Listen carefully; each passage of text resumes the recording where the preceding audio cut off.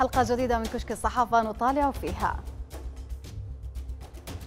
من المواقع المحلية ميليشيا الحوثي تنفي وجود المرض ووفاة طبيب في صنعاء بمرض إنفلونزا الخنازير. صحيفة بريطانية المقاتلون السودانيون العائدون بثروة من اليمن يسببون المشاكل في بلادهم. وفي أخبارنا المنوعة أموال العرب المنهوبة هل تعيدها الاتفاقيات الثنائية؟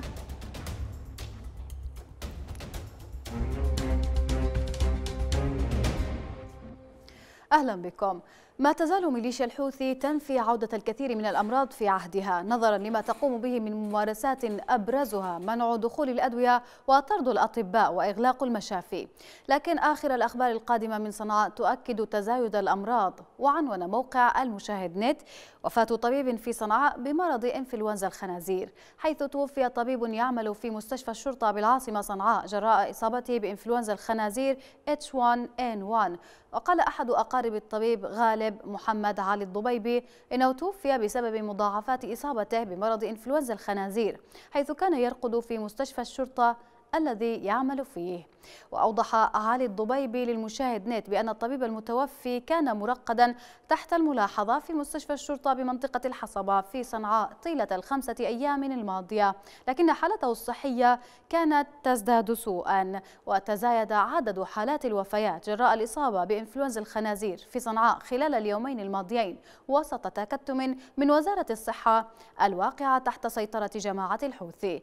وكان الناطق باسم وزارة الصحة التابعة لميليشيا الحوثي قد قلل من مشكلة انتشار فيروس إنفلونزا الخنازير مؤكدا أن ما يروج من تفشي المرض يأتي في سياق المبالغة والتهويل. وطالب مواطنون وناشطون وزارة الصحة اليمنية بمكاشفة الناس القاطنين في صنعاء حول حقيقة انتشار مرض إنفلونزا الخنازير والحد من تزايد أعداد المصابين به.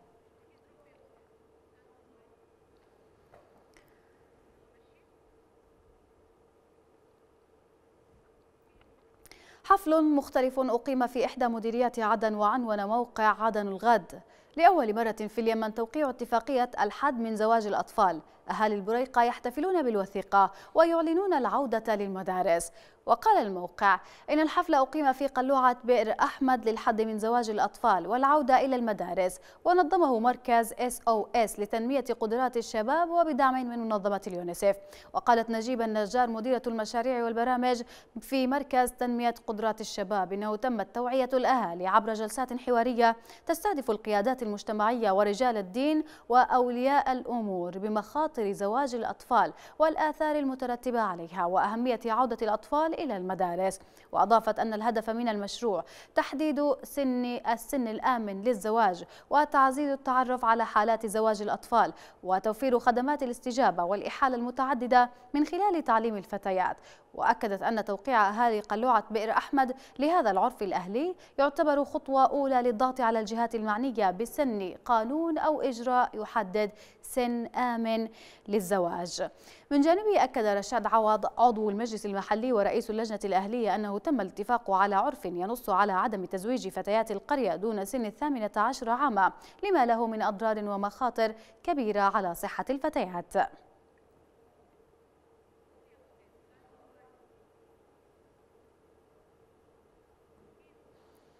هناك مقولة متداولة في السودان وتحديدا في دارفور.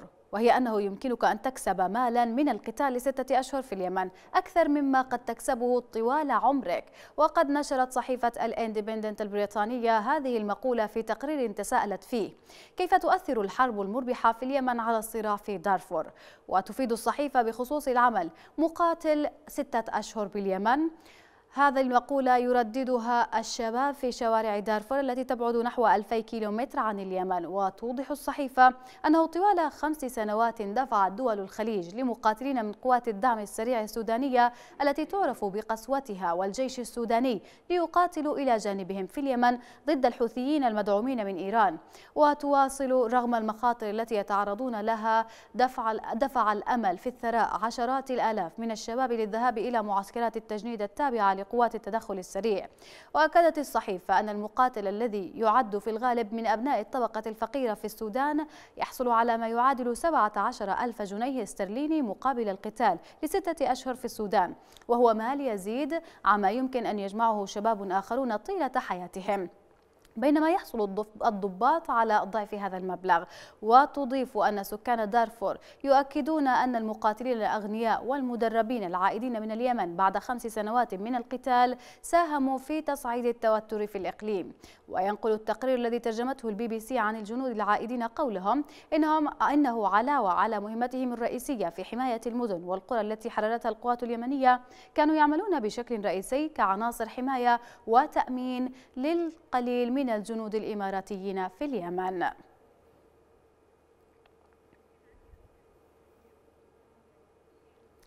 ترامب يقوم بتفكيك النظام الدولي تحت هذا العنوان كتب جيمس زغبي مقاله المعد نشره في الغد. في واقع الأمر كان إعلان إدارة ترامب بأن المستوطنات الإسرائيلية في الأراضي الفلسطينية المحتلة ليست غير شرعية عملا مفصليا بالغ الأهمية. ولو أن ذلك ليس للأسباب التي ذكرها الإسرائيليون أو الفلسطينيون كما كان أيضا بمثابة المسمار الأخير الذي دق في النعش ولو أنه لم يكن نعش عملية السلام كما ادعى بعض الفلسطينيين. لم تكن الأهمية الكبيرة للقرار تتعلق بالمستوطنات الإسرائيلية في الأراضي الفلسطينية، لأن سياسات الإدارات الأمريكية المتعاقبة تجاه المستوطنات تحولت خلال العقود الثلاثة والنصف الماضية من القبول السلبي إلى القبول الكامل. وكان رونالد ريغان هو أول من قال أنه لا يعتقد بأن المستوطنات غير قانونية. وكان جورج دبليو بوش هو الذي حاول التمييز بين الحقائق القائمة والمستوطنات الجديدة. فالأولى على حد زعمه تم بناؤها مسبقا ويمكن أن تبقى في حين أن من الواجب عدم تشجيع الأخيرة. وقد استغل الإسرائيليون جيدا الميزة التي صنعتها هذه الثغرة واستمروا في البناء الاستيطاني مدركين أن الرؤساء الأمريكيين قد يشتكون لكنهم لن يفعلوا أي شيء لمنعهم من ذلك. وكانت النتيجة الصافية أن عدد سكان المستوطنات في الأراضي المحتلة ارتفع من 50 ألفا خلال فترة إدارة كارتر إلى 620 ألف مستوطن إسرائيلي حتى قبل أن يتولى ترامب منصبه. على هذه الخلفية من الإنصاف القول بأن إعلان ترامب بشأن المستوطنات الإسرائيلية لم يعكس أي تحول جذري في السياسة الأمريكية كما أن من السخف اقتراح أنه سيكون له أي تأثير على عملية السلام. إنه لا يبنيها ولا هو يقتلها ولا يعيدها أو يبطئ مسيرها بالتحديد لأنها لا توجد الآن عملية سلام من الأساس ولم تكن هناك مثل هذه العملية منذ عدة سنوات. نشر موقع فرنسي تقريرا عن القهوة معتبرا اليمن إلى جانب أثيوبيا المصدر الرئيسي لاكتشاف القهوة وعنون موقع الناس الإخباري الفرنسي. العالم العربي الإسلامي يقف وراء وصول القهوة إلى أوروبا. وقال الموقع أن الكثيرين يتجاهلون وصول القهوة إلى أوروبا بفضل المسلمين حيث قام التجار اليمنيون بزراعة هذه الفاكهة لأول مرة في القرن الثاني عشر مع جيرانهم الأثيوبيين وقاموا بتوزيعها عبر طرق التجارة. في القرن الخامس عشر قدم الحجاج المسلمون القهوة ثم أطلقوا عليها اسم القهوة. وازدهرت تدريجيا الأماكن التي يتجمعون فيها لشرب القهوة وأطلقوا عليها المقاهي المقاهي حيث كانوا يلعبون فيها ويتناولون القهوة. يوضح مؤلف كتاب تاريخ القهوة فريدريك ماورو أن أول مصانع البن قد ولدت في أثيوبيا ثم نقلت لاحقا إلى الجزيرة العربية واليمن. سينتشر المشروب سريعا في العالم العربي والإسلامي بسبب حظر المشروبات الكحولية. في القرن الثامن عشر وفقا للموقع غادرت بعض النباتات العربية في النهاية. من اليمن إلى الهند وهولندا وصلت أولى المحاصيل إلى جزر الهند الغربية حوالي عام 1723 وبعد ذلك إلى البرازيل. وبسبب الطلب المتزايد يتم إنشاء مزارع البن في البلدان المدارية لإنتاج المزيد والمزيد. تعد البرازيل وكولومبيا وحتى فيتنام من بين أكبر منتجي القهوة في العالم وبلغ الإنتاج السنوي في القرن العشرين بين 6 و7 ملايين طن بينما كان 100 ألف طن فقط قبل 100 عام. وحدة الشعوب العربية المعنوية تحت هذا العنوان كتب سامر خير أحد أحمد مقاله المنشور في العرب الجديد. فتحت ثورات الربيع العربي أمام الشعوب العربية وفقا واسعا لتبادل الاهتمام بالقضايا السياسية المحلية الجارية في مختلف الأقطار العربية. صحيح أن تبادل الاهتمام لم يكن ليتاح لولا ثورة المعلومات وتنوع مصادرها خصوصا التلفزيونية. كذلك توفر منصات التواصل الاجتماعي إلا أن من الموضوعي القول إن وقوع تلك الثورات دفع الشعوب العربية إلى الانشغال ببعضها على نحو لم يكن قائما خلال العقود الثلاثة الأخيرة على أقل تقدير. وفي الوقت نفسه لا يزال نفر من العرب يحتجون على ما يعتبرونه تدخل أفراد من شعوب عربية أخرى في شؤون بلدانهم. وهو تدخل لا يزيد على إبداء واحدهم رأيه فيما يجري في هذا البلد أو ذاك. يدعي هؤلاء أن قضاياهم لا تخص غيرهم فلا يحق لغيرهم الحديث فيها. والحق أن دعاة عدم التدخل ليسوا أكثرية. فقد هتفت الثورات العربية في الجزائر وتونس والسودان وغيرها بطبيعة الحال لصالح ثورات الشعوب الأخرى وضد قوى الشد العكسي التي عملت على إحباطها. ولم يجد الثائرون هنا رفضا من الثائرين هناك. والمعنى المباشر لهذا أن أنصار الثورات العربية هم الذين يعتقدون أن الشأن العربي واحد ومترابط فيما أن رافضي الثورات من مؤيدي المستبدين هنا وهناك هم الذين يريدون أن يغلقوا حدود أقطارهم على أنفسهم ويرفضون تبادل الاهتمام مع أشقائهم ويرون في حديث العرب الآخرين عنهم انتقاصا من قدرهم متناسين أن الحال العربي واحد فهم في الحقيقة لا يشعرون بقهر الاستبداد ولا يرفضونه ولا يشجعون الثورة عليه. بل يمثلون تلك القاعدة الانتهازية المستفيدة منه. تدرك الثورات العربية إذا أن الحال العربي في مواجهة الاستبداد والظلم والديكتاتورية واحد. لعلها تدرك أيضا أن نتائج الثورة في هذا البلد تنعكس بالضرورة على نتائج الثورة في بلدهم. بات هذا الوعي إذا جامعا جديدا للعرب يضاف إلى عوامل اللغة والدين والتاريخ المشترك. تعد سويسرا أهم ملاذ للأموال العربية وليس سرا أن قسما كبيرا من هذه الأموال يعود إلى حكام ورجال أعمال فاسدين حصلوا على ثرواتهم بطرق غير مشروعة فهل يمكن استردادها؟ يحاول تقرير دي دبليو الألماني الإجابة وعنوان أموال العرب المنهوبة هل تعيدها الاتفاقيات الثنائية؟ من الصعب حصر مجمل هذه الأموال بسبب السرية المصرفية إلا أن مصادر بينها الغرفة العربية السويسرية للتجارة والصناعة تقدرها بنحو 200 مليار دولار. وإذا أضفنا إليها الأموال العربية الأخرى في البنوك الأوروبية والأمريكية والجنات الضريبية فإن الرقم يصل إلى عدة تريليونات من الدولارات.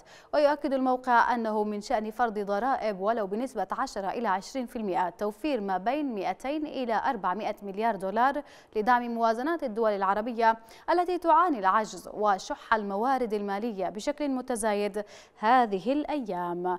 ووفقا للدي دبليو فقد درج الأثرياء والحكام العرب على نقل أموالهم إلى خارج بلدانهم خوفا عليها من ضعف الاستقرار السياسي والمصادرة وبسبب كسبهم لها بشكل غير مشروع. وإذا كان حجم أموال صندوق الثروة السيادية الليبية التي تم تجميدها في الغرب على سبيل المثال 70 مليار دولار فكيف بحجم الأموال السرية التي أودعها الحكام العرب وعائلاتهم والمقربون منهم؟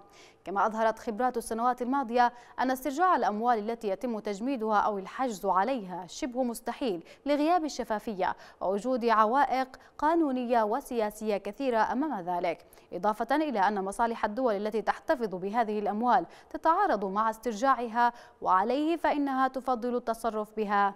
إلى حين. النقلة الزمنية تحت هذا العنوان كتبت بروين حبيب مقالها في صحيفة القدس العربية. لا أدري ما الذي أوهم العالم العربي بأن الزمن توقف فقد تبادر إلى ذهني هذا السؤال كثيرا وأنا أزور مدنا عديدة فأنا أجدها لا تتغير يحل عليها الثبات بشكل عجيب وتبقى صامدة وسط التغيرات المتوحشة حولها بل إن بعضها تحرك جملة وتفصيلا نحو الماضي. نعم يستحيل على شبان الزمن التكنولوجي أن يقبلوا بمزيد من الإهانات لإنسانيتهم وهم يرون أترابهم يستمتعون بالحياة بطرق مختلفة حتى بدون أن يملكوا تاريخا عريقا وأطلال حضارات عظيمة.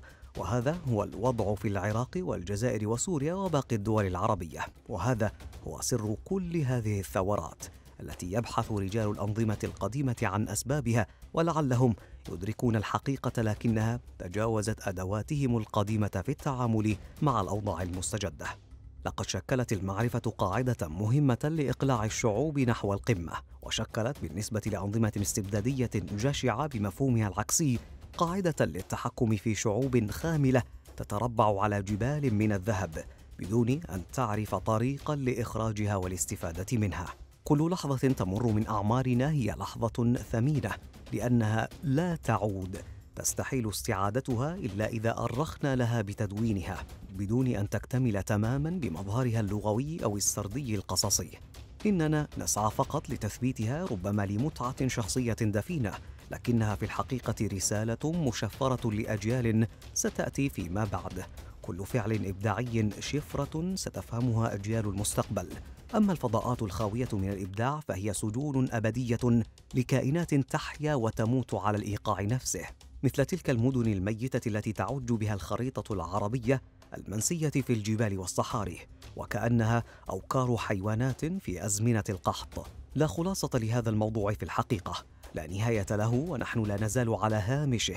نتابع أبناءنا يموتون بشتى الطرق في بقاع بلداننا. فيما أقلية الاقليات تعتمد ساعة متوقفة لقياس الزمن وأدوات بدائية للتعامل مع عقول نابضة بالأفكار لا نهاية حاليا في انتظار أمل ما. بقدر ما كانت أفكار المفكر الإسلامي السوري محمد شحرور موضع جدل في حياته بقدر ما كان لثاؤه يوم رحيله مساء السبت الماضي موضع إجماع. فالاختلاف مع الكاتب الذي قدم تصورات معاصرة في فهم القرآن انعكس اتفاقا على قيمته المعرفية وما قدم من كتب ودراسات ومقالات وأبحاث وفقا لما قالته صحيفة القدس العربي تحت عنوان رحيل الكاتب السوري محمد شحرور. شحرور رحل عن عمر ناهز 81 عاما في أبو ظبي في دولة الإمارات العربية المتحدة. وقالت صفحته الرسمية على فيسبوك إن جثمان الراحل سينقل إلى دمشق لدفنه في مقبرة العائلة بناء على وصيته. والراحل من مواليد مدينة دمشق 1938 سافر إلى الاتحاد السوفيتي في بعثة دراسية لدراسة الهندسة المدنية في موسكو وتخرج بدرجة دبلوم في الهندسة المدنية عام 1964 وأوفد إلى جامعة دبلن في إيرلندا للحصول على شهادتي الماجستير والدكتوراه في الهندسة المدنية اختصاص ميكانيك تربة وأساسات. بدأ في دراسة التنزيل الحكيم وهو في إيرلندا وقد ساعده المنطق الرياضي على هذه الدراسة وأصدر العديد من الكتب والدراسات الإسلامية المعاصرة. أبرز الصور كما نشرتها صحيفة الجارديان البريطانية نعرضها في جولتنا المصورة اليوم.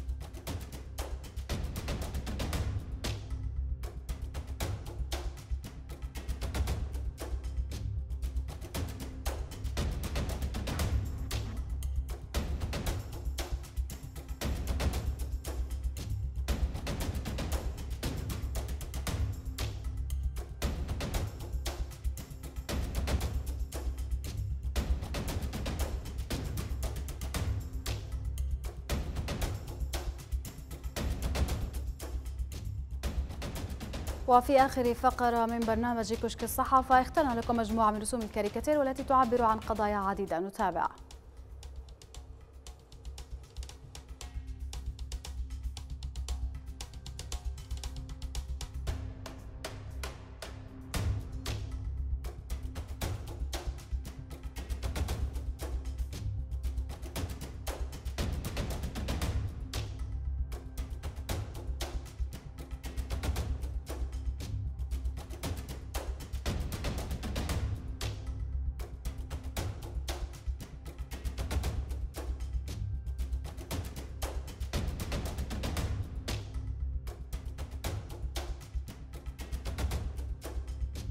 وبهذه المجموعة من الصور ورسوم الكاريكاتير. نصل إلى ختام حلقة هذا اليوم. شكرا على المتابعة. إلى اللقاء.